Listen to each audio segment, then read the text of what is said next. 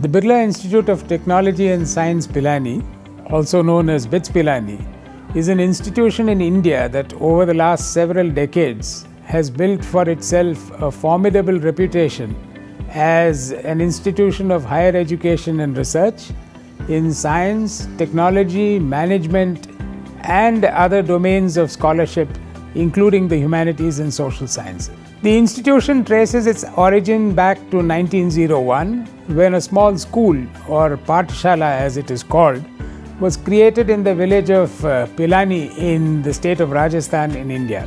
That small school grew and flourished, and in 1964, the erstwhile colleges of science, commerce, and pharmacy, the College of Engineering, and the College of Arts were amalgamated into this institution called uh, BITS Pilani, which the Ministry of Education, Government of India, declared shall be deemed to be a university. A pioneer in educational reform in the country, the institution is known for its innovative curriculum with flexibility so built in as to foster academic rigor as well as all round development. One of the famed flexibilities that the Institute offers is the dual degree program, a feature that has now become recognized as something which is uh, desirable and uh, likely to be implemented by many other institutions.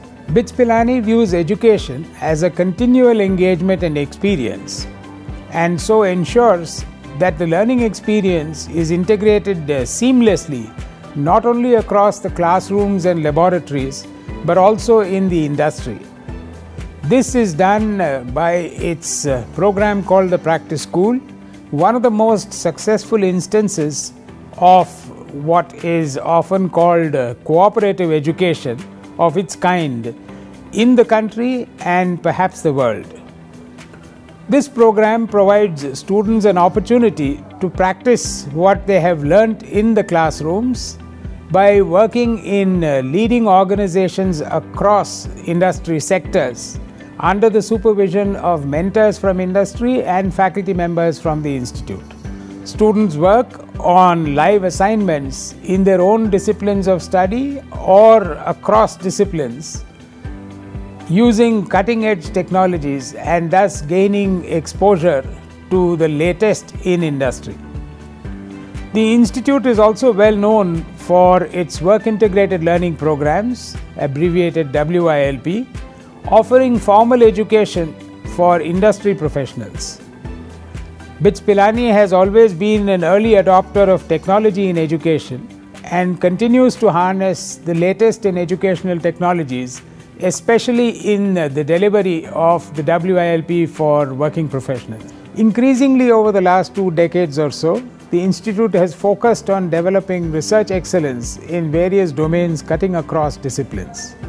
To this end, there has been immense emphasis on recruitment of highly qualified faculty, setting up of state of the art research infrastructure, and growing the doctoral programs. The Institute has five physical campuses today with a total enrollment of about 17,000 of which 25% are at the higher degree and doctoral levels. Besides the campuses in Pilani, Goa, and Hyderabad, there is an overseas campus in Dubai, among the first such to be established by an Indian higher education institution, and an exclusive school of management in the youngest campus in Mumbai. The institute also has a pervasive presence in industry through the 35,000 or so working professionals enrolled in the various programs uh, for industry. The institute counts about 65,000 alumni from its campus based programs and about 100,000 alumni from the WILP. Our alumni have distinguished themselves in all walks of life academics, industry leaders, technocrats, civil servants, and very significantly as entrepreneurs with over 7,000 founders and co founders and about 10 unicorns and one decacorn.